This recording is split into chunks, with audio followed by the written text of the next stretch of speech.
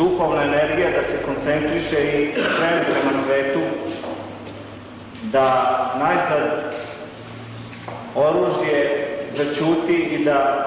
čovjek čovjeka pogleda sa ljubavlju, da nastane mir, da možemo da živimo onako kako zaslužujemo, normalno, da se radujemo našoj deci,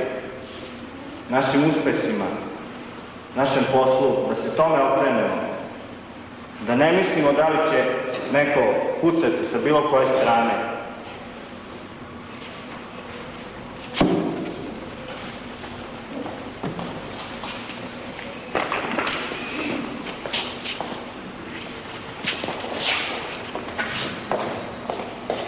Objavljujem mir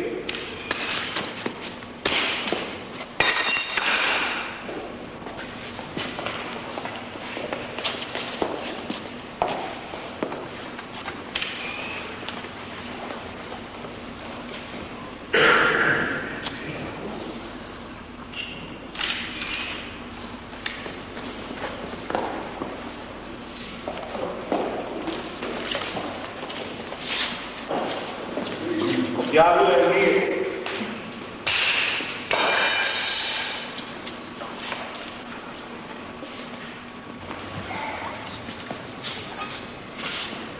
Objavljujem mir